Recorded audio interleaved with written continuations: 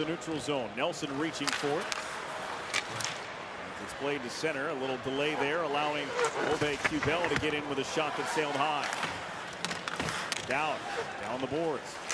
Aube-Kubel to the front for Sheary. The backhand, he scores!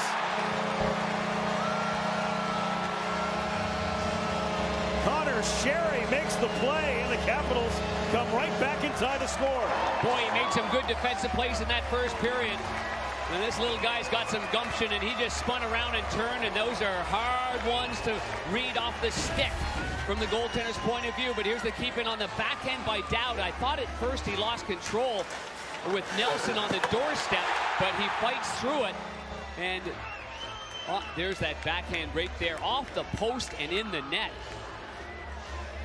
Use that lower hand there, and it might have glanced off the end of the blade.